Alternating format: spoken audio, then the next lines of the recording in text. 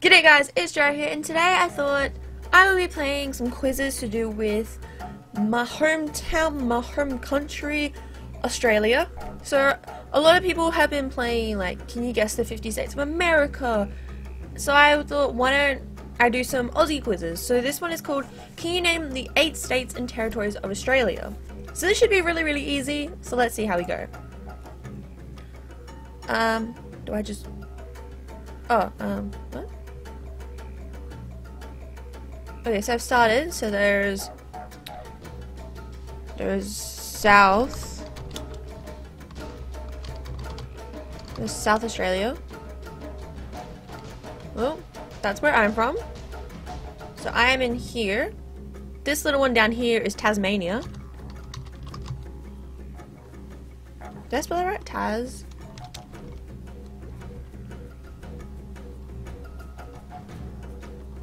Tasmania? I just realized I have no idea how to spell Tasmania. Oh, let me go a bit. I know that's Tasmania. There's the ACT. Hell yeah. Oh, then WA. No. Western. There's Western Australia. RA. LA. Then there's NT or Northern Territory.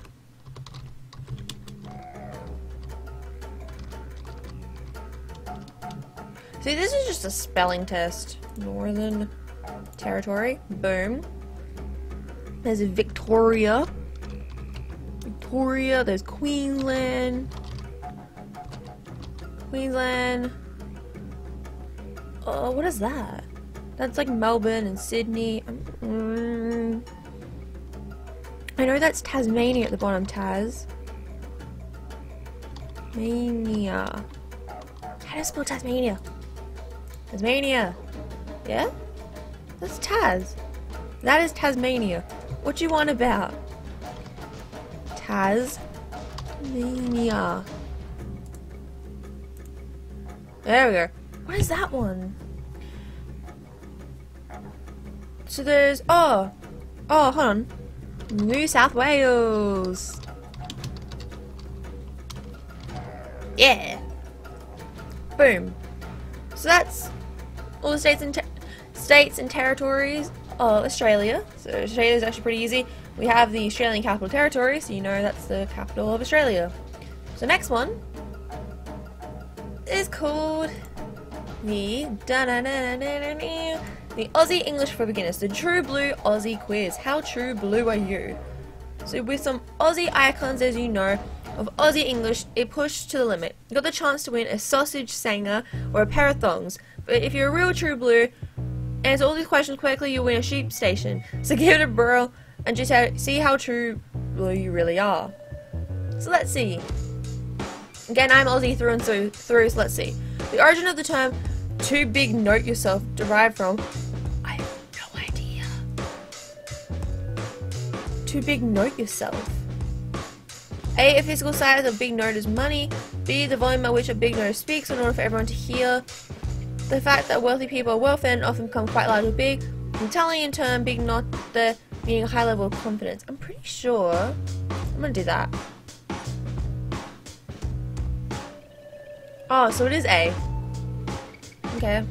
Well, I didn't know that. Round two. I'm looking like a real bad Aussie. The term furphy. An untrue rumor or obscure, obscure story came from what? Sounds similar to furry or fuzzy, just descriptive of a fact with a rumor. The cart that transported water during World War One, a containment used to send a message via pigeon. A river in, in, in Egypt whose water is quite stagnant and muddy. No. Mm. It's A or C. I'm gonna go with C. It's B. Okay. And I've got a good authority that... Okay. I am not knowing any of these. I'm looking so bad.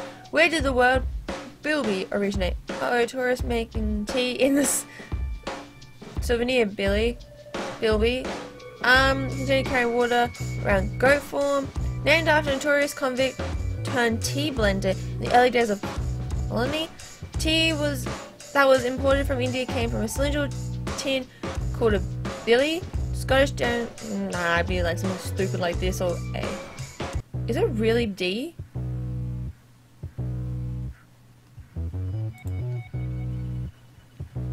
Okay. Oh, I know that. That's um. It's one of our footy teams. Can't think of the word. Why is a male a mallee bull considered fit? They're not sarcastic. They survive very difficult conditions. Malay lush and stocked, well fed and healthy. It's probably sarcastic, honestly. I have heard of none of these things.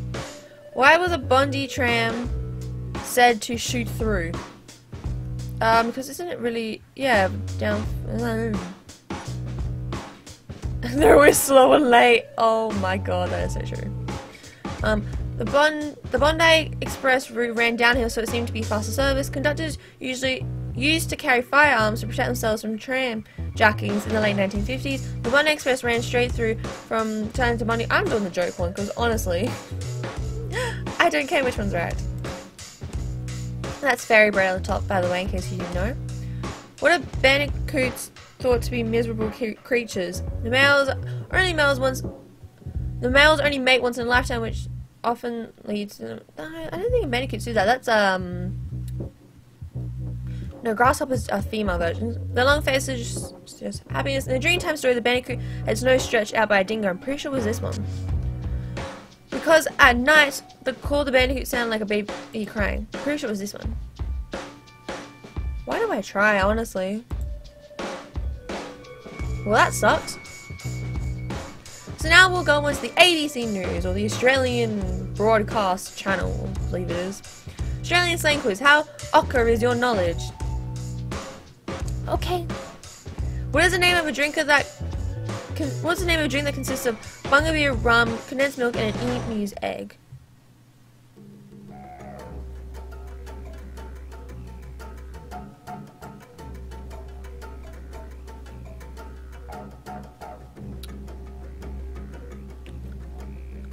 What? I'm no drinker, so I don't know this. Probably this. It's one of the two. What is a bushman's clock? Oh, Kookaburra laughing. Gotta be. If you're going to bend an elbow, what are you doing? Wait, what? If you're gonna bend an elbow... you don't. Mm, you're gonna bend an elbow? You could start a game of bat cricket. You're not doing... Mm, it's either gonna be drinking beer or cricket. I'm gonna go cricket. Yeah, I knew it was gonna be either or. If I haven't seen a wombat since Archer won the cup, how long has it been? Since Archer... A long time? That was weird. What is a term given to a four-wheel drive that has never been off-road, typically driven in an inner suburb city? Um... a Carlton Cruiser, a Brisbane Bentley, a Sydney Scraphead, or a Toorak Tractor. I'm pretty sure it's...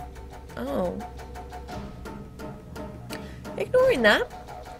What is... Uh, I'm not gonna butcher... it. It's probably...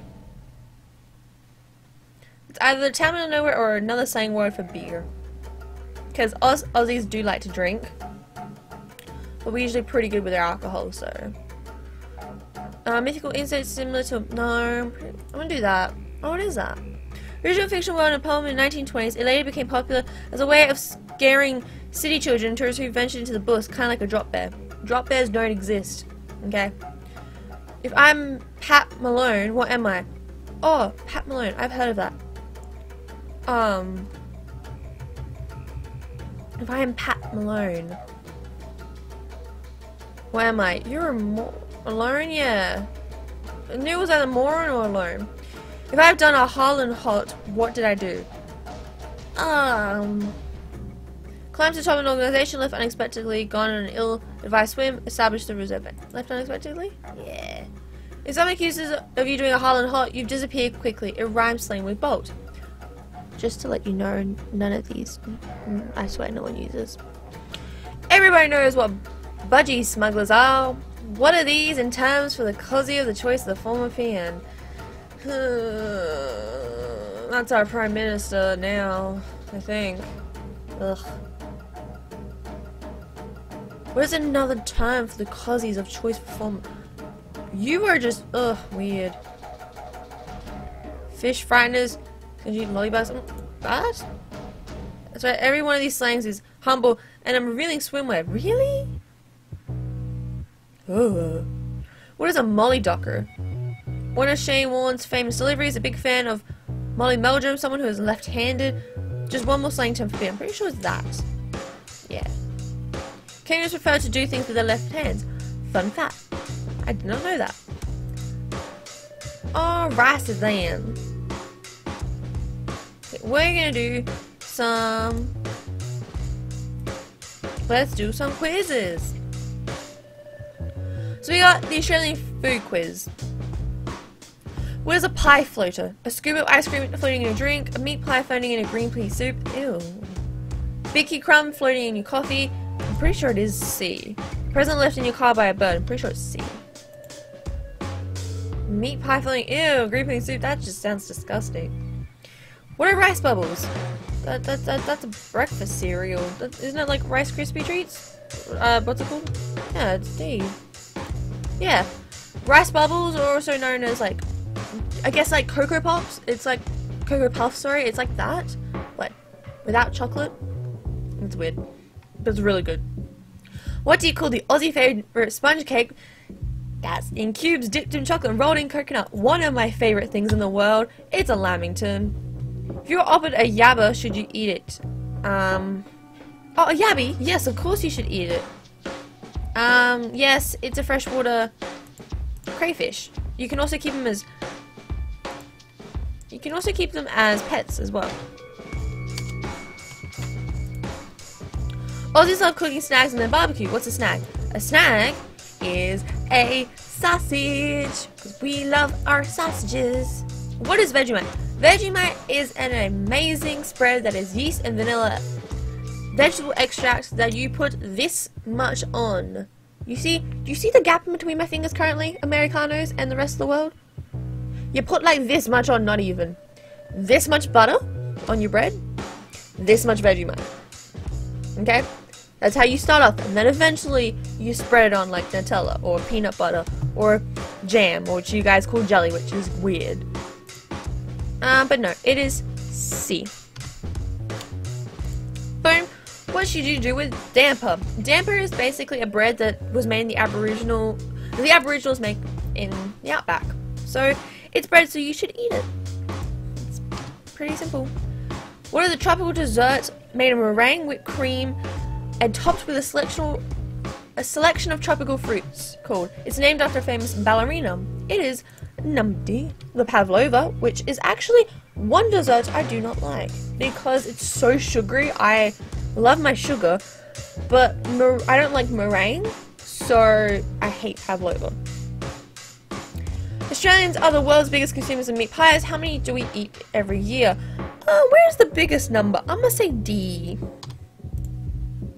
Oh, okay, so it's close. Over 250 million. I mean, that's not surprising because every football game we ever have, someone's eating a meat pie, and there's the largest game, there would be 50,000 people there. Easily. And think of 50,000 people every week you know? That's a lot of meat pies. So, this is some facts. I want to go back and do one more quiz. I don't know.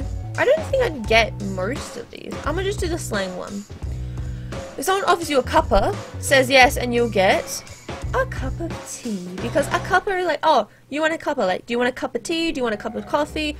Do you just want like a cup, like a hot beverage, basically? That's how we do it in this household anyway. But it's mainly a cup of tea. Tell me I'm right.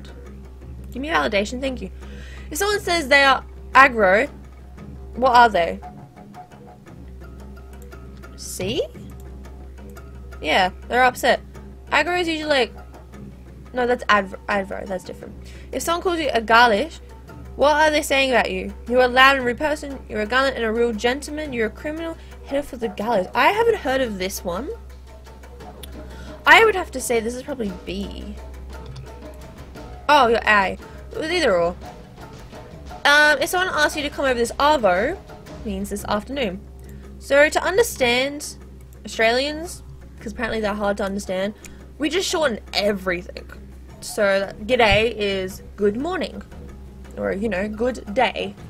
It's just everything is shortened because we're too lazy to say the full word. Full word. If someone tells you to give them a fair suck of the sav, um, they want you to. I would say that would be B, but it could be C too. Because, like, oh, I'm gonna say C, even though I. Really? I didn't think that was, but okay. If someone says I have the wog, what are they talking about? And the frog there, oh, that is either B or C, but I think it's B. Yeah, means they're sick. If someone says, let's crack a tinny, what are they going to do? Oh, that's opening a good old beer by watching the cricket game. Yeah. If someone asks you where the dunny is, what are they looking for? They are looking for the toilet because that's what we call it. If someone asks you where the dummy is, what are they looking for? That's a baby pacifier. Or you could, it could be a son-in-law, to be honest. If someone says they are fair, fair dinkum, that means that they know how to swim a little. No, it would be they were born in Australia. Did I tell you the truth? No, I don't believe that at all. But there were some quizzes to do with Australia because I feel like Australia just kind of gets left in the dust sometimes. So, well, thank you guys so much for watching. If you liked it, let me know in the comments below and tell me, do you guys want to learn more about some Aussie slang? Should we do more quizzes? Just kind of let me know what you guys' are thoughts and feelings and etc etc etc because this is fun and maybe I should do some more quizzes maybe about the rest of the world and see how good my knowledge is. If I can barely get stuff to do in Australia, I'll probably do bad at everything else. So, yeah. Anyway, Drat says in the next video, whoop, sarcasm out. Don't forget to like, comment, subscribe, and I'll see you guys in the next video. Bye bye. See ya. Also, go check out all my social media links in the description below. I'm on Twitter every day. I'm on Instagram. I'm on. What's the other thing? I'm on Musical.ly now, which is Sarcasm XD. I've been on that for a little bit, but I had a break, now I'm back on. I'm on Snapchat if you want to follow me. It's Black Diamond. So you, you know, look around for that. And yeah, I think that's all my social media links. It's all in the description below anyway. So, bye.